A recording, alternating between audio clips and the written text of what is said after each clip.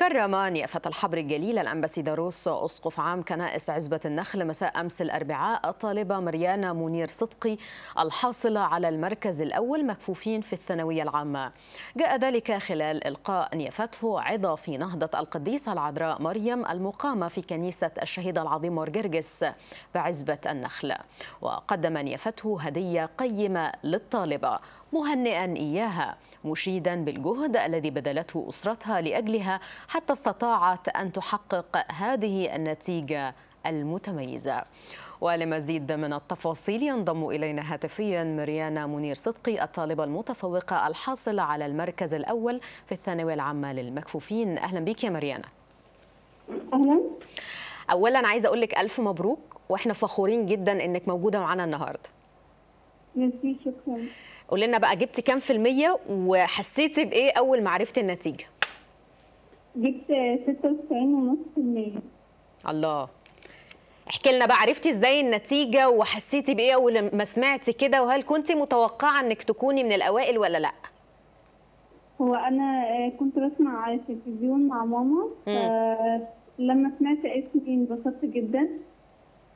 كنت متوقعة إن أنا أجيب مجموع كبير لكن مش إن أنا أطلع الأولى. آه انت حاسة إنك انت أديتي في الامتحانات كويس فكنت حاسة إنك هتجيبي مجموع كبير؟ آه. من وجهة نظرك بقى يعني انت حاسة إنه الامتحانات دي إدت فرصة أكبر للناس إنها تبين قدراتها مش بالحفظ بس؟ يعني انت كنت مبسوطة بالامتحانات السنة دي؟ آه الحمد لله الامتحانات كانت كويسة. امم كنت بتذاكري إزاي بقى؟ يعني ادينا روشتة كده علشان الناس اللي داخلين ثانوية عامة يبقوا متفوقين زيك. يعملوا إيه؟ آه، كنت بذاكر طول اليوم آه، أول ما بتعب برتاح على طول. آه، لما باخد دروس برتاح بعدها ساعة أو, أو أكتر شوية. وبعدين بذاكر ما بديش نفسي لعب كتير يعني بلعب شوية وبعدين أذاكر شوية. آه يعني وقتك تقريبا كله كان للمذاكرة. آه بالظبط. كان في حد بيساعدك؟ آه طبعا ماما كانت بتساعدني وأختي الكبيرة كانت بتساعدني كتير في المذاكرة. النتيجة ظهرت. ماما قالت لك إيه؟ آه، طبعا قالت لي أنت تستحقيها وحضنتني جدا. قالت لي آه، آه، شكرا ليكي يعني. الله أنا أنا أنا مدركة تماما اللحظات الحلوة دي اللحظات اللي فيها أنت بتجني ثمر تعبك. مين تاني حسيتي إن هو كان سند وظهر وداعم ليكي في وقت الثانوية العامة ده؟ آه، هو طبعا كتير كان سند ليا بس أكترهم ماما وأختي الكبيرة. امم هايل.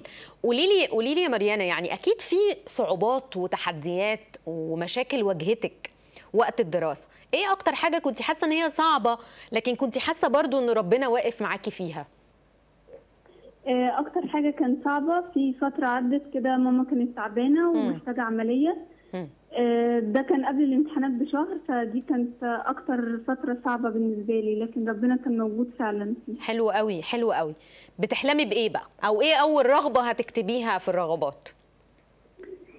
نفسي أحصل على منحة من الجامعة الأمريكية أو البريطانية أدخل كلية إعلام. هايل. وتبقي مذيعة بقى زي القمر. آه شكرا. عايزة تدخلي كلية إعلام. ده هدفك آه، يعني.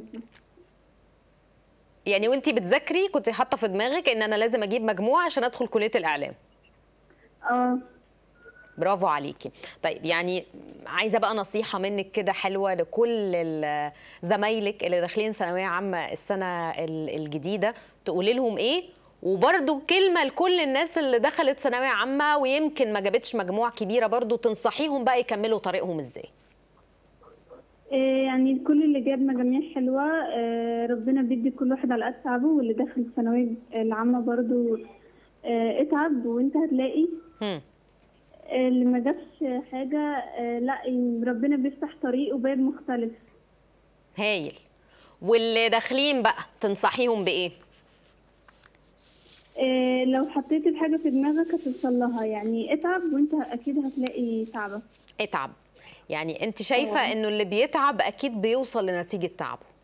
آه طبعا. سيدنا امبارح لما كرمك كنت حاسة بإيه؟ آه، طبعا كنت مبسوطة قوي وفرحانة. مم. وأكيد أكيد كل الناس كانت فخورة بيكي امبارح وإحنا كلنا فخورين بيكي يا مريانا أنا بشكرك جزيلا على وجودك معانا النهارده وألف ألف مبروك مرة تانية وأتمنى يا رب في المستقبل كده ألاقيكي منورة الشاشة ومذيعة جميلة زي القمر شكرا ليكي نورتينا.